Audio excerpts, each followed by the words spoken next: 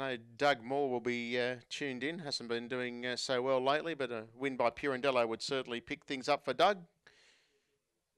Let's see how things go here. Last race. I'm with Lexi's. The odds on pop. They're set and they're off in the last.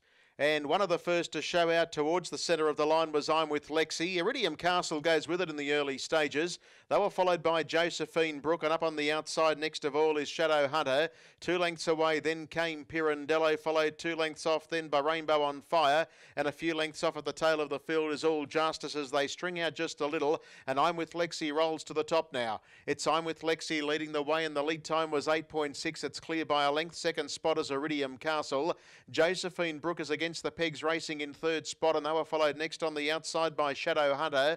Further back then to Rainbow on Fire. Pirandello's in the running line, and last of all, as they come down the lane, is All Justice. As they come down towards the winning post, they've got a round left to go, and I'm with Lexi as the pilot, held together in front by Wonder Iridium Castle. Striding forward on the outside is Shadow Hunter, and they were followed by Josephine Brook. Pirandello's in the one by one trail. Next, the insiders Rainbow on Fire, and last of all is All Justice as they work into the back straight.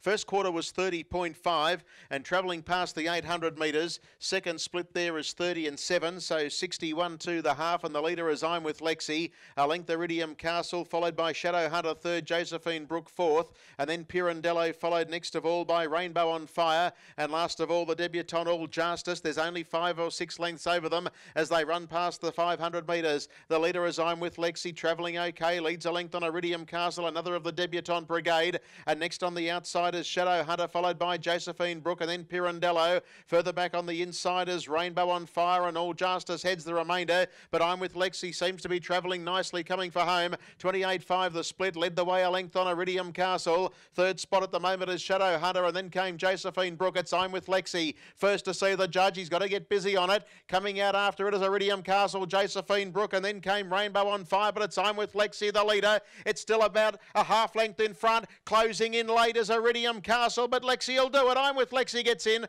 beats Iridium Castle, good run on debut. Josephine Brook, a nice effort for third at odds, and then came further back to Rainbow on Fire, Shadow Hunter Rule Justice, and back at the tail, Pirandello. Last quarter was 28 6 1 58 1.